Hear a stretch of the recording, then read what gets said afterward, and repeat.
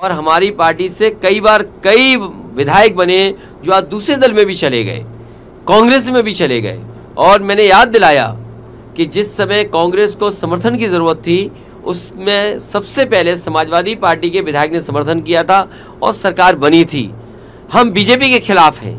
और जिस समय भी कांग्रेस के नेताओं से बात हुई, उस समय मैंने कहा कि हम बीजेपी को हराना चाहते हैं, जो हमसे सहयोग लेना चाहो ले लो और उस समय उन्होंने बैठक करके, रात में एक बजे बैठ करके, जिसमें हमारी पार्टी के एमएलसी रहे श्याम श्याम सुंदर जी, विधायक रहे दीपक, हमारे प्रदेश के अध्यक्ष, पार्टी के संगठन के डॉक्टर मनोज, इन लोगों ने बैठ करके कांग्रेस के वरिष्ठ नेता, दोनों पूर्व मुख्यमंत्रियों से बात की।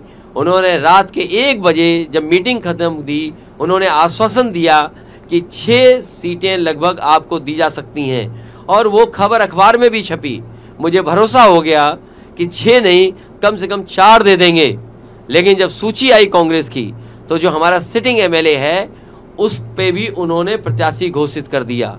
इसलिए मजबूरी में समाजवादियों को अपने जहाँ मज़बूत क्षेत्र हैं, वहाँ पर कार्यकर्ताओं की भावना को समझते हुए हमें लड़ाना पड़ रहा है। मैं ये भरोसा दिलाता हूँ कि समाजवादी पार्टी उन्हीं सीटों पे लड़ेगी जहाँ पार्टी का संगठन है। या संगठन उनको कहेगा, हम बीजेपी को हराना चाहते हैं, उस लक्ष्य में हम लोग आगे बढ़ेंगे। देखिए कांग्रेस पार्टी को साफ़ करना चाहिए था।